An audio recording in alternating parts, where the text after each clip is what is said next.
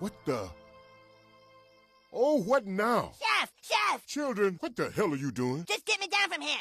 Oh, finally, my arms are killing me. You children shouldn't be out crucifying yourselves in this heat.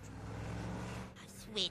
Now I'm gonna go kill those guys. Eric, I have to tell you something, and it's really gonna bum you out. What? It's gonna really piss you off.